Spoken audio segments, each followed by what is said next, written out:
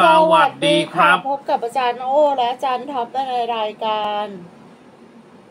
กรุงเทพกรุงเทพเสริเสริมมดดววงงนะวันนี้ก็เรามานั่งคุยกันนะถึงเรื่องที่ว่า คนมีองค์เนี่ย ควรเห็นความสำคัญของการตรวจองค์ ถามว่าเพราะอะไร เพราะว่าจะมาถามแบบสุ่มไม่ได้ ถามแบบสุ่มมันก็คือไม่ไม่ใช่เรื่องนะเอาล่ะเดี๋ยวบูชาองค์เทพก่อนเรามานั่งคุยกัน นะโมตัสสะภะคะวะโตอะระหะโตสัมมาสัมพุทธัสสะนะโมตัสสะภะคะวะโตอะระหะโตสัมมาสัมพุทธัสสะนะโมตัสสะภะคะวะโตอะระหะโตสัมมาสัมพุทธัสสะโอมพระพรหมปฏิภาหายะทุติยมปีพระพรหมปฏิภาหายะ ตาติยมปีพระพรหมปฏิภาหายะ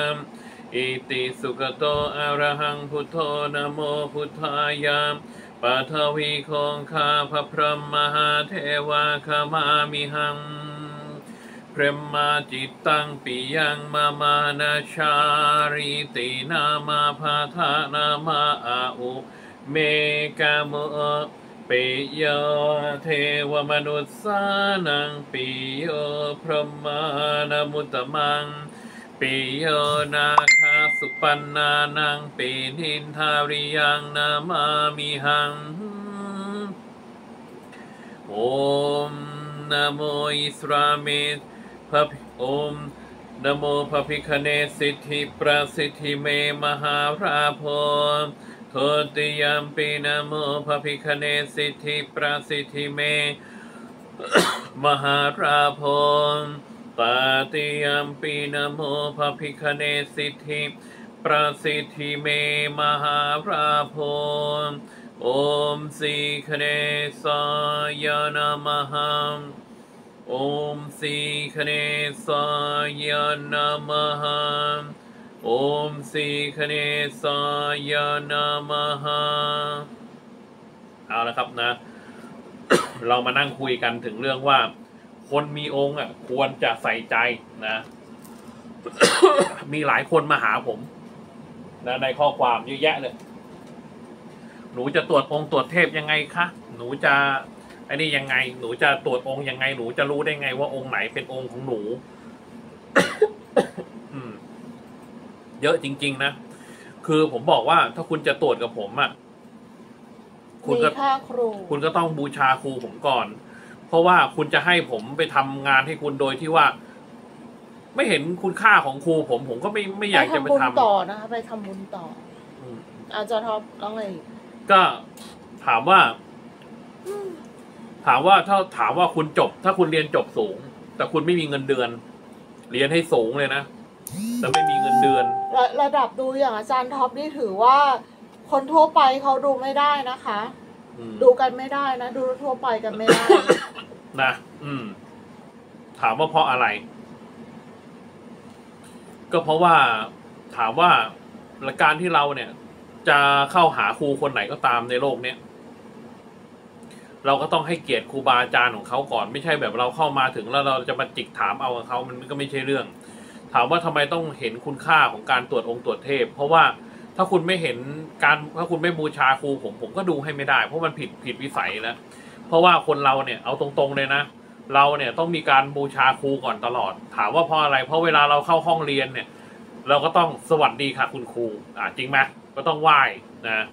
ถ้าไม่ถ้าไม่สวัสดีครูแล้วไปนั่งเรียนเฉยๆได้ยังไงเป็นไปไม่ได้ พูดถึงเรื่องครูอะค่ะเพิ่งผ่านวันครูมาหยกๆนะคะ เออ จริงๆอะทุกคนต้องมีครูทั้งนั้นน่ะตั้งแต่เกิดมา ใช่ มีอืม มีมีหลายคนพูดว่าครูเทพเนี่ยครูเทพไม่มีจริงหรอกนะครูเทวดาไม่มีจริงอ่าคนเขาก็พูดกันไปนะเพราะอะไรรู้ไหมเพราะจิตใจเขามันยังบอดอยู่มันยังไม่อะไรนะ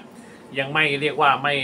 ไม่เปิดอะนะไม่เปิดก็สมสมควรแล้วที่ว่าตาที่สามไม่เปิดแล้วก็จะไม่สามารถรู้เรื่องของตัวเอง ไม่สามารถแก้ไขปัญหาให้ตัวเองได้ ส่วนมากก็เพราะว่า จิตใจมืดบอด จิตใจมืดบอดคืออะไรรู้ไหมอืมคือชอบทดสอบทดลอง คิดว่าตัวเองเก่ง บางคนเนี่ย เป็นคนในระดับมีความรู้สูง เรียนเมื่อเรียนมาก พอเรียนมากเสร็จเนี่ย มันมีเขาเรียกอัตราในตัวอัตราคือความเชื่อมั่นในตัวเอง แต่สุดท้ายแล้วอะเชื่อผมเถอะ ว่าคนน่ะ ที่สัมผัสมากับคนที่สัมผัสจริงกับคนที่ที่ทดสอบคนแค่เพียงอยากอยากรู้และรู้และเข้าใจและแค่พอรู้เนี่ย ไม่เหมือนกัน เพราะคนที่ทำอะก็คืออยู่หน้างานคือผม ถามว่าทำไมผมถึงมาตรวจองค์ตรวจเทพ เอามายังไงมันมีที่เรียนเหรอหรือมันฝึกมาหรือมันยังไงบอกมันอยู่กับการคุกคลีคุกคลียังไม่พอมันอยู่ขึ้นกับการฝึกฝนด้วยของอาจารย์แต่ละคนที่ท่านชำนาญท่านให้วิชามา หลาย ๆ คนก็บอกว่า เอ้ย ต้องไปเรียนเวทเนี่ย เวลาเรียนเวทเนี่ยต้องไปเรียนเรียนอาคมเนี่ยต้องไปเรียนแบบว่าถ้าเข้าไปในป่าในดงไปเรียนอะไรคนอย่างเงี้ยผมก็บอกว่าเอาตรงๆเลยนะคนที่ใส่ใจฝึกฝน คนที่ร่ำเรียนมาเนี่ย ย่อมทำได้มากกว่าคนที่ไม่รู้เรื่องอะไรเลย เพราะหลาย ๆ คนเนี่ยชอบมาแบบบ้าอะไรผมไปเรื่อย แต่ว่าพอให้เอาจริง ๆอะทำไม่เป็นเอาเยอะงี้ดีมากกเลว่ายพูดถึงดีกรีของอาจารย์ท็อปดีกว่าอาจารย์ท็อปนี่ คือระดับที่ว่าตั้งแต่อายุสิบสามใช่ไหมที่เริ่มรู้ตัว ใช่แต่อายุสิบสามแต่แต่ตั้งแต่เด็กมาเท่าที่เคยคุยกันเนี่ยค่ะ อาจารย์ท็อปเนี่ย ตอนเด็กๆเล็ก ๆ เลยนะ ผู้ใหญ่ก็แปลกใจใช่ไหมเพราะว่าปล่อยให้นั่งอยู่คนเดียวแล้วคุยกับใคร คุยอยู่คนเดียวเห็นอะไรคะอาจารย์ท็อปเห็นอะไร คุยกับใครเห็นพี่ยายเล่าให้ฟังนางไม้ ยายเขาเห็นด้วยยายเขาเห็นนางไม้เอายายเห็นด้วยเหรอ ยายเขาเห็นเป็นผู้หญิงนั่งอยู่ อ๋อ นึกว่านึกว่ายายไม่เห็นนึกว่าเห็นอาจารย์ท็อปนั่งคุยยายเขาเห็นแต่เขาไม่แต่เขารู้แค่เพียงว่ายายยายเห็นแต่ยายไม่เคยเห็นหน้าอ๋อยายเห็นข้างหลังเป็นผู้หญิงนั่งคุยอยู่กับเรา ปรากฏว่าเราก็นั่งนั่งนั่งคุยกับเขาเราเราไม่รู้ว่าเขาเป็นใครหรอก แต่รู้แค่เพียงเขาเขาเดินออกมาจากต้นไม้มานั่งคุยด้วยโอ้แล้วเราก็นั่งอยู่ใต้ต้นไม้เราก็จะหลับแล้ว เราก็บอกพี่พี่พี่มาจากไหนไม่เคยเห็นหน้าพี่เลยบอกงี้แหมคนแถบนั้นเราเห็นประจำอะแต่เราไม่เคยเห็นหน้าพี่อืมอืมเขาบอกเขาคือนางไม้ โอ้อืมแล้วตอนนั้นรู้เรื่องยัง ไม่รู้อะ ไม่รู้ว่านางไม้หน้าตาเป็นยังไง รู้ว่าหน้าตาสวยรู้แค่เนี้ยไม่รู้ว่ามันจะเป็นยังไง เออ แล้วเขาหลับตาไหมเขาตาเขาไม่กระพริบรู้แค่เนี้ยอ๋อวิญญาณเนี่ยตาไม่กระพริบอืมแล้วตัวจะขาวซีดอ่านะทรงทรงแบบเป็นดอกกระทุ่มอะแบบ มันเหมือนเด็กมอต้นอะเออเหมือนเด็กมอต้นอะ มันเหมือนเด็กมอต้น คือแต่แต่อายุเขาประมาณสักสิบเจ็ดสิบแปดอ่า เอออ่าอ่าในอารมณ์ตอนนั้นอะนะอารมณ์นั้นก็คือเรายังเด็กเราไม่รู้ เราเรียกเขาว่าพี่แน่อืมนะถามความรู้สึกว่าเห็นผีตั้งแต่เด็กละแต่เราก็ไม่รู้ว่าจริงเท็จยังไง แต่ว่ารู้ว่าเห็นเท่านั้นแหละอ่าเราไม่ทราบว่าไปวัดอะไรเห็นพระพรหมอะไรนั่นน่ะตอนนั้นน่ะ เห็นเป็นรูปปั้น แต่ว่าในพระพรหมนั้นน่ะ รูปปั้นน่ะ สามารถขยับหน้าได้ในความรู้สึกอะคือเราเราเราเรารู้สึกเองเออเออว่า ว่ารูปปั้นพระพรหมนั้นน่ะสามารถขยับหน้าได้นะแสดงว่ามีพรสวรรค์มาตั้งแต่เด็กอะแล้วยังไงต่อพออีสิบสามฮะสิบสามเนี่ยคือพระอาจารย์ท่านมาทักบอกว่าหนู หนูจะทำหน้าที่อันยิ่งใหญ่ ไปไปบวชสามเณรใช่ ตอนฤดูร้อนใช่ท่านบอกว่า แล้วคราวนี้มีพระกรรมฐานรูปหนึ่งท่านที่สอน สอนสอนกรรมฐานเอโดยอตรงนั่นแหละ ท่านบอกว่าเจ้าจะทำหน้าที่อันยิ่งใหญ่ มาตอนตอนแรกเขาบอกว่าเขาเขาเขาเห็นใช่ไหมใช่เขาเห็นเขาเห็นว่าพระพรหมเดินตามอยู่ ใช่เขาเห็นตอนนั่งสมาธิเขาบอกว่าเห็นพระพรหมนั่งอยู่ด้านหลังอ๋อมีมีบัลลังก์นั่งอยู่ด้านหลัง แล้วเขาชี้ลงมา แล้วเขาพูดขึ้นมาว่าบอกด้วย บอกให้ด้วยอ๋อแล้วอาจารย์กรรมฐานบอกว่า เก่งนะ ไม่ธรรมดานะเนี่ย มีระดับหนึ่งในสามมหาเทพมาอยู่ด้วยเนี่ย บอกงี้ท่านพูดอย่างนี้เราก็ไม่รู้หรอกว่าหนึ่งในสามมหาเทพอะไรเราไม่รู้จักตอนนั้นน่ะ บอกว่าเป็นบรมเทพท่านบอกเรื่องนี้จริงใช่ไหมอาจารย์เขาจริงไม่เนี่ได้ยบอกอะจริงเด็กครูกรรมฐานบอกอะ เออ แต่เราไม่รู้ว่าจริงเท็จเราพูดนึกว่าแกพูดเล่นนะ แต่เรารู้เราเราก็เราก็ลืมไปว่าพระมีศีลสองร้อยยี่สิบเจ็ดห้ามพูดเล่น แต่แกอ๋อแต่แกแบบเป็นครูสอนกรรมฐาน แกบอกว่าเก่งนะไม่แล้วตอนนั้นได้ข่าวว่าอาจะทำหัวเราะใส่หัวล้อเนี่ยใส่พระอาจารย์เออก็คือเราไม่เชื่อมเราบอกว่าโห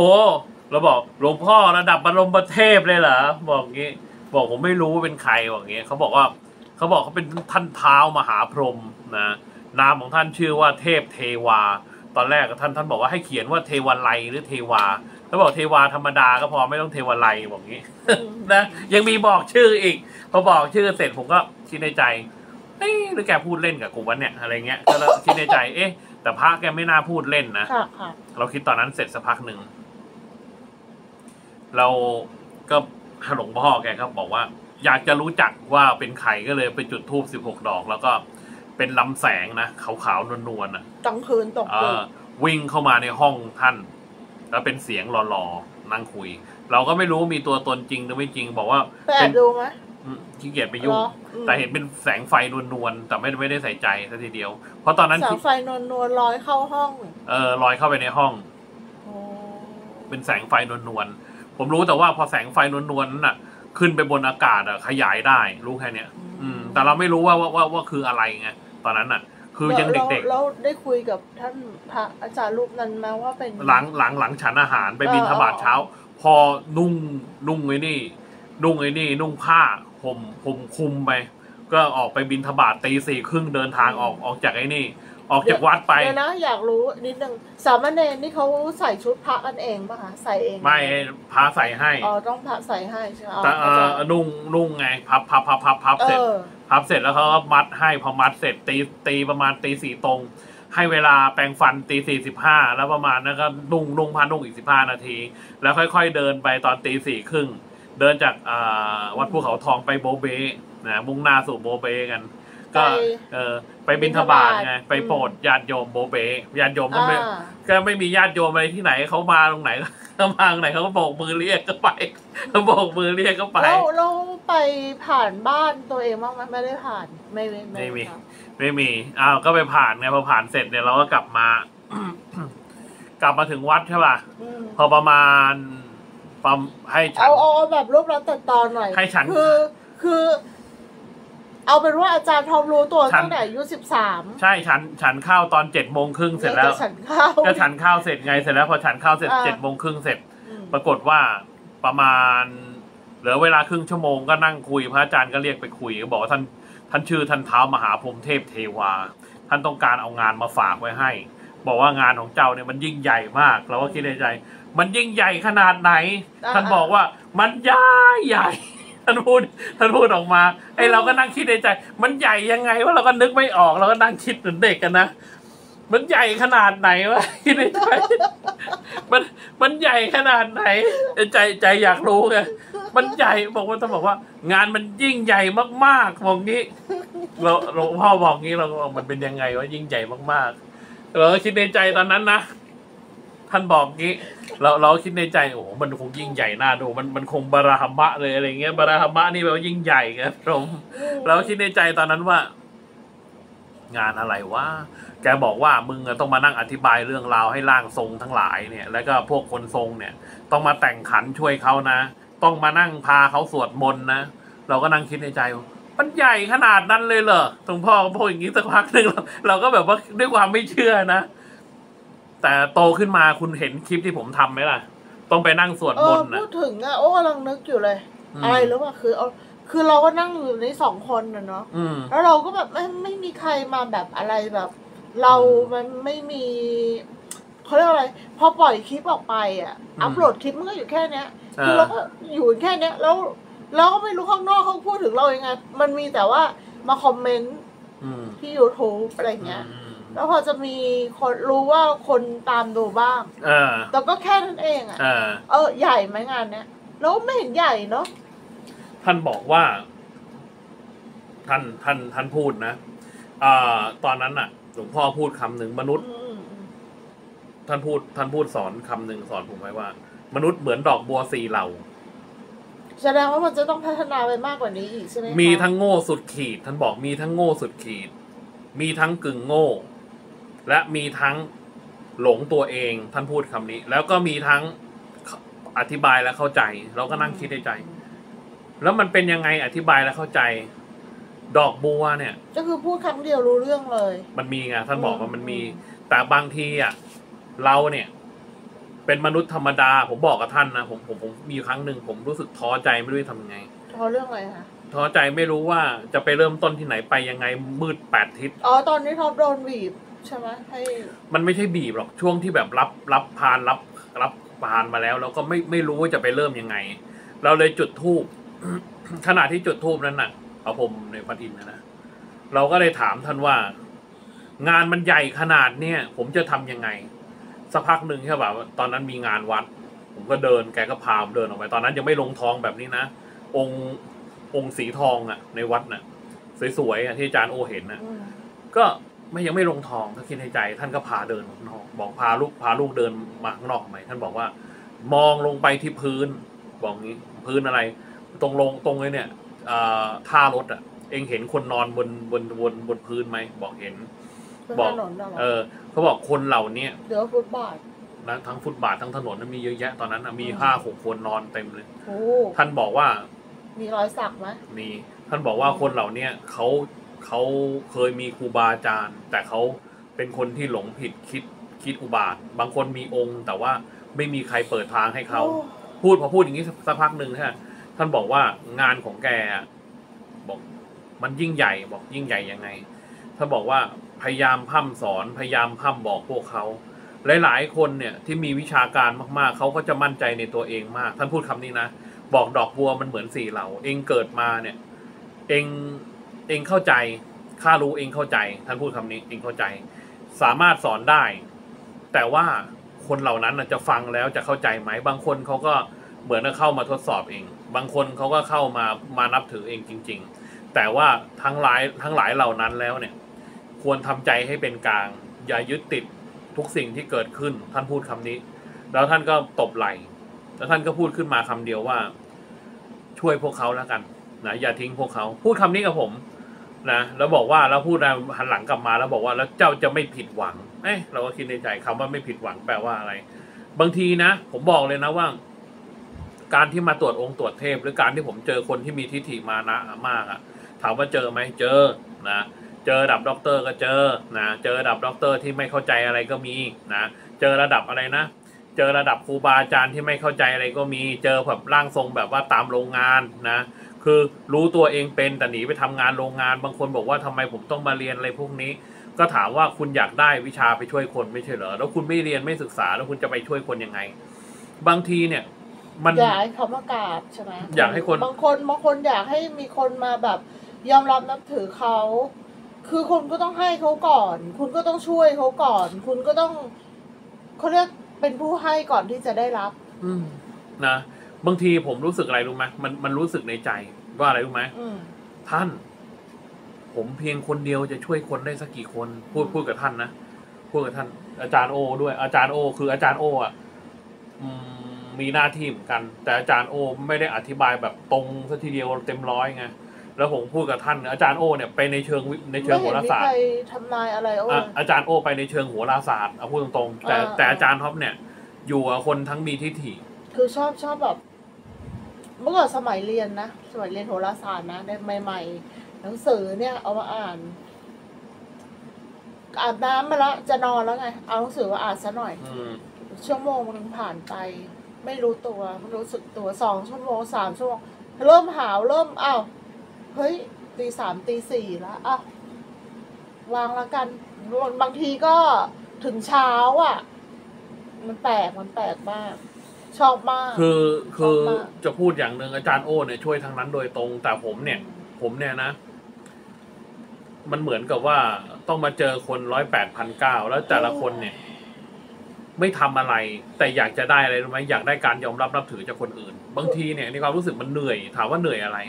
มันเหนื่อยใจตรงที่ว่า ความคิดคนมันได้แค่นี้เหรอมันได้แค่นี้คืออะไรรู้ไหม คุณอยากจะให้คนมากราบเท้าคุณคุณอยากให้คนมานับถือคุณโดยที่คุณไม่ช่วยใคร ไม่ช่วย ไม่ลงทุนอะไรแล้วไม่ช่วยใครไม่ร่ำไม่เรียนไม่อะไร แล้วคอยเถียงผมนะผมเจอนะ แล้วผมก็เลยเฉยๆถามว่าความรู้สึกตรงนั้นเป็นยังไง เอาแล้วให้โอมาช่วยอะไรอะ วิชาการไงอาจารย์โอสอนไพ่อยู่แล้วไงเข้าใจปะอาจารย์โอสอนไพ่อาจารย์โออธิบาย คอยช่วยพวกเขาคอยแต่บอกแต่ว่ายังเทพมีอะไรคนเงี้ย มาบอกว่า ไม่ชอบเรียนแบบที่อาจารย์โอสอน จะบอกอย่างรู้หนึป่ะงท้อไปเลยอะไม่ไม่ผมผมผมผมถ้าเป็นผมผมจะไม่ท้อเพราะอะไรรู้ไหมท้อท้อว่าโอสอนเป็นไงมันน่าเบื่อวะไม่มันไปตามตำราอืมก็ใช่ไงสอนตามตำราไงแต่คนพวกนั้นคือเข้าใจไหมว่าเขาเขาอวดเก่งก่อนครู เข้าใจป่ะคือถ้าเขาเป็นอาชีพนั้นอยู่แล้วเขาก็อยากจะเก่งกว่าครู แต่ในความรู้สึกของผมผมผมไม่มาย เพราะอะไรรู้ไหมในความรู้สึกลึกๆอะนะ เออโอเพราะว่าไม่มีใครว่าโอนะเรื่องเรื่องสอนเนี่ย ไม่มีใครเอว่าออาจารย์โอคือตอนผมเป็นเด็กอะมีอยู่คนเดียวนั่นแหละตอนผมเป็นเด็กอะผมเคยดูหนังเล่มหนังเรื่องหนึ่งเขาเก่งมากเลยอืมหนึ่งต่อล้านผผมยังนั่งคิดในใจเลย ถ้าคนเราเนี่ยเข้าไปโดนส้นตีนร้อยล้านคนเนี่ย มันจะยอมวิ่งเข้าไปไหมแต่ผมดูในหนังนะมันพุ่งเข้าไปเลย แล้วมันเป็นเรื่องจริงที่เคยเกิดขึ้นจริง ๆ แล้วรอดตีนร้อยร้อยรอดอะไรรอดล้านตีนออกมาได้ ผมก็นั่งคิดในใจเลยว่าเฮ้ย ถ้ามันรอดออกมาได้ก็แปลว่าเราเนี่ยคนเดียวเนี่ยก็ยังพอไหวเนี่ยอย่างเงี้ยในดูในหนังเขานะชอบพูดว่าคนเดียวอะเขาไม่บอกว่ามีให้มีโอมาช่วยไม่ใช่เหรอ ช่วยแต่โอ้ช่วยทางวิชาการโดยตรงไง เข้าใจว่าก็นี่ไงช่วยอัพโหลดคลิปนี่ไงเออรู้แล้วตรงเนี้ยเข้าใจดาวน์โหลดคลิปอาจารย์โอเนี่ยช่วยทางวิชาการโดยตรง ทางวิชาการเนี่ยต้องโอ อาจารย์โอ วิชาการเนี่ยคือร่างทรงเนี่ยผมบอกเลยนะ ถ้าไม่เรียนไพ่ยิปซีไม่ศึกษาโหราศาสตร์ผมบอกเลยพลาด พลาดเลยนะ บางคนก็ไพ่เอาเราขึ้นก็ได้ง่ายใช่ โดยท่านอาจารย์โอแต่ว่าเนี่ย ดูหน้าไพ่ปุ๊บตอบตอบไปเลยอะไรเงี้ยจะไม่เอาไงไม่เอากันแต่ส่วนใหญ่โอ้ยอาถ้าจาไพ่รย์ ยิปซีเนี่ยต้องจำจำเยอะ ผม แต่ไพ่เอาเราขึ้นนะ เปิด เอาบอกว่าไพ่เอาเราขึ้นนี่คือโอ้เคยสอนมา ก็คือว่าแค่เขาถามมาสมมติถามมา ว่าเอาสมมติเอ่อวันเกิดแฟนเนี่ย จะให้เป็นเสื้อสีอะไรดีว่าจะซื้อเสื้อให้ อืมซื้อซื้อเสื้อสีอะไรดี ปรากฏว่า หยิบไพ่มาใบหนึ่ง มันมีสีอะไรบ้างก็เอาในนั้นแหละ ตอบไปเลย อืมอย่างนั้นแหละ เป็นเป็นเป็นรูปหัวใจก็บอกว่าอะสีแดงอะ ก็บอกไปเลยสีแดง อาจจะมีเป็นรูปลายหัวใจด้วยอย่างนี้ก็ได้ อืมอันนี้คือไพ่ oracle อืมแต่ว่าไพ่ยิปซีนะไพ่ The Emperor ก็ต้องเป็นจักรพรรดิ ไพ่ The Empress ก็ต้องเป็นจักรพรรดินีจะเปลี่ยนกันไม่ได้ หลาย ๆ คนเนี่ยพยายามเข้ามาหาผมเนี่ยไม่ใช่อะไรนะอะเข้ามาเหมือนทด นี่เราพูดเรื่องอะไรนะก็คนเรื่อง มีองค์ต้องเน้นให้ต้องเห็นความสำคัญของการตรวจองค์ค่ะ ใช่ แล้วการตรวจองค์เนี่ย มันต้องใช้พลังจิต พลังจิตของคนคนนั้นที่ถูกฝึกมา ไม่ว่าจะเป็นสัมมาระหัง ไม่ว่าจะเป็น ยุบหนอพองหนอไม่ว่าจะเป็นนามาพาทาหรือจะเป็นอะไรก็ตาม ไม่ว่าจะเป็นอาโปเตโชพุทโธอะไรเงี้ยสี่สิบกองอะ่ะ มนุษย์เราเนี่ยต้องไปเรียนเรียนกองใดกองหนึ่งให้ถูกให้ถูกใจตัวเองแล้วเราจะจะจะจะจะสามารถรู้ความจริงได้ฝึกได้ ถ้าคนไม่ฝึกกรรมฐานมันเป็นไปไม่ได้จะมานั่งฝึก แล้วผมบอกอย่างหนึ่งอืมการบางคนนะเข้ามาในข้อความผมพยายามจะให้ผมดู บอกว่า ถ้าจะดูคุณก็ต้องบูชาครูผม ถ้าคุณไม่บูชาครูผมก็ดูให้ไม่ได้ เพราะอะไรเพราะว่าครูผมเตือนว่า การไม่บูชาครูมันผิดครูมันไม่ถูก แล้วทำไม่ถูกเนี้ยมันไม่เหมาะกับการที่จะมาดู ผมพูดอะไรเพราะอะไรไหมคุณเห็นความสำคัญขององค์คุณ แต่คุณไม่เห็นความสำคัญขององค์ครู ครูคือใครครูของผมที่จะมาดูตรวจดู ผมต้องขออนุญาตท่านก่อน เพราะบารมีทุกสรรพสิ่งอย่างนั้น เราอย่าลืมว่าถ้าเราไม่มีครูเราไม่สามารถทำได้ แต่ถ้าเรามีครูเราถึงจะทำได้ เพราะฉะนั้นทุกสรรพสิ่งควรใส่ใจ อาจารย์ท็อปนี่เป็นคนเก่งนะคะ อืม แต่แกจะพูดถึงครูแกเสมอเลยว่า ที่แกเก่งได้ก็เพราะครู ใช่ แม้กระทั่งพระสัมอ่า แม้กระทั่งพระสัมมาสัมพุทธเจ้าก็ยังบอกเลยว่า แม้กระทั่งท่านเองก็ยังมีอุทกดาบทกับอารยดาบทนะเป็นบรมจารย์นะฤาษีใช่ทั้งคู่อาจารย์โอก็มีครูม อาจารย์โอก็นับถือครูของอาจารย์โออย่างผมเนี่ยผมก็เรียนไพ่ยิปซีกับอาจารย์ธนกรเอาพูดตรงๆแต่อาจารย์โอก็เรียนไพ่ยิปซีอาจารย์ธนกเป็รนอาจารย์ที่สอนพยิปซีอาจารย์โอคนแรกนะคะอืมอาจารย์ธนากรอืมแล้วอาจารย์โอเอาไปทำนายได้เลย ใช่ เพราะว่า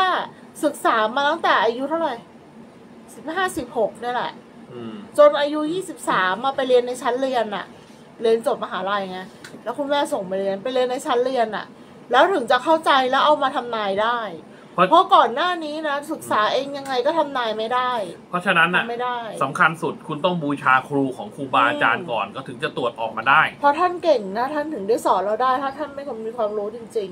ติดต่อดูดวงตรวจองค์ตรวจเทพได้ที่ Facebook โอสิริกรอภิรัตน์เบอร์โทร 0 6 1 9 9 2 2 6 4 5 0 9 2 5 9 2 9 2 6 1 ครับ ID รายโอซิริ15 ๆ ค่ะ ตามนี้ครับนะ